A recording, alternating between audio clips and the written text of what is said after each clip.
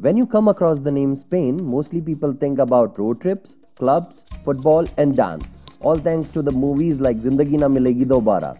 But Spain has a lot more to explore. Hello and namaste. Welcome to the channel Tips on Travel. We have some important tips on traveling in Spain at the end of the video, so do hang on. Spain has a huge historical background and places that were discovered or developed in 10th century which are holding still till date. In this video, we are going to take you to Barcelona, Abbey de Montserrat, Cardona, Sitges and Tarragona. Barcelona has a lot of things to be famous for, like its beaches, football clubs, nightclubs and unique Gaudi structures like Casa Milà, Casa Batlló, Park Güell and Sagrada Familia. There is a very interesting fact about Sagrada Familia. This masterpiece is under construction since 1882. Castle de Montjuïc. This place is full of history. This fort saw its first battle in 1641, which was known as the Battle of Montjuïc. However, the old fort was demolished in 1751 and nowadays this castle is the city council. San Sebastian Beach. The first beach to allow men and women to swim in the same area in 19th century. The end of this beach welcomed a massive hotel, the Hotel W Barcelona, which shaped like a snail. The Barcelona Aquarium, a transparent 80 meter long tunnel where you can walk and swim among the sharks, ocean sunfish, and many more aquatic species. The place is best for your kids. Aquarium has nearly 450 species and approximately 1100 marine animals including penguins. If you are a football fan, then you must visit the Barcelona Stadium Camp Nou. This is the third largest football stadium in the world.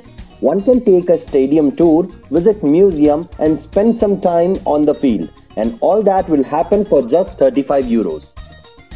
The next destination is 66 kilometers, that is approximately 1 hour of drive from Barcelona, Abbey de Montserrat. If you are not renting a car, then you can reach there by train to Abbey de Montserrat and then followed by a cable car journey or also by bus from Barcelona. This place is surrounded by mountains of unusual shape which was discovered in 9th century this place is also popular for hiking and cycling. Abbey de Montserrat or Saint Maria the Montserrat because this is the home of the statue of Saint Maria with a baby child which plays an important role in the cultural and spiritual life of Catalonia people. And now, the next destination is 58 km from Montserrat. Cardona Salt Mountain it takes around 5 hours of train journey from Barcelona to reach this old and stylish Catalonian town. The mountain is mined for years till 1997 and then later shut down due to geographical reasons.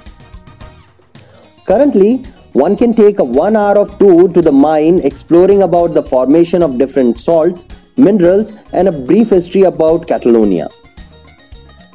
The Castle of Cardona Constructed more than 1000 years ago, the castle of Cardona is one of the most well remnants of Spanish antiquities. The castle has amazing safety and the excellent panoramic view to the city. The fort is currently used as a luxury hotel named Parador de Cardona, which may cost you up to 300 euros per night depending on the suites. Sitges is a lovely Mediterranean coastal town which is 104 kilometers from Cardona. The town with the 17 beaches. I must say, Sitges is very happening and beautiful city. You can just sit around and admire the sea view and the seaside cathedral. You can spend the day shopping, enjoying drinks and pub, exploring the old city and Spanish constructions. So we have reached our last destination, that is Tarragona. Tarragona Amphitheatre. It was built in the 2nd century AD. Initially, the amphitheater was used for two activities the battle of gladiators or fighting or hunting the animals.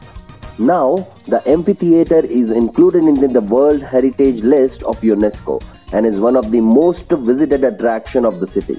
The Pont del Diable is an ancient bridge built to supply water to the ancient city. You can also walk around the bridge at the top to see the city view. Memento Los Castell, a symbol of Catalonian culture and sport heritage.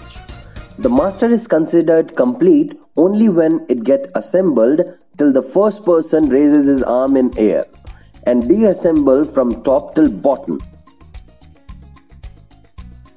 Tarragona Sunset Balcony is the finest point to witness sun setting down the sea. It's very close to the city market too. And now let's go to tips on travel. Just like other European cities, Barcelona has great public transportation system. Additionally, in Barcelona you can purchase 10 journey tickets for 10 euros from metro station ticket vending machine. This ticket will be valid to commute through metros, buses and trams across zone 1. Barcelona is the theft capital, so be aware about that. If you are renting a car in Spain, remember that there are barely free parkings available in the city during the daytime, but after 8 pm all parkings are free. The color strips on the road have a specific significance with respect to parking. Blue is for private parking, yellow is for paid parking, and white is for free parking. Stay alert while you're parking your car. Road tolls are very expensive in Spain, yet it's cheaper to rent a car than public transport to travel in Spain.